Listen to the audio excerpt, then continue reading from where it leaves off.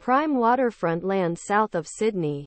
Government appointed by government resigned collectively to protest potential Malta a long-lasting $7 million wooden extension. Adding to Esplanade walking track around the Cronulla Peninsula would pass through Hungry Point Reserve, pocket of a inheritance crownland, and to create a complete cycle for hikers. A planned extension on the Esplanade runway is doubtful.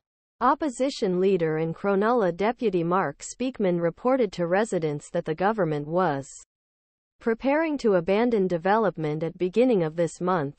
On other hand, he resigned six volunteer members of Hungry Point Reserve Land Manager Board, which received approval and financing for project.